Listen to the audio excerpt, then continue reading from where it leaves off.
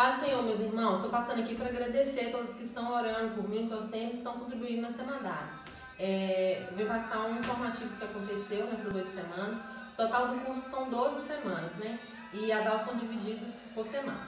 Na primeira a gente teve a, a aula da história de Deus, na segunda, adoração e intercessão, na terceira, aula de crescimento emocional, na quarta nós fomos para o Impacto Carnaval em Ouro Preto, onde eu fui presenteada pelo Senhor e renovada onde nós levamos o amor e o socorro para aqueles que estavam perdidos lá no carnaval. Foi um renovo para mim.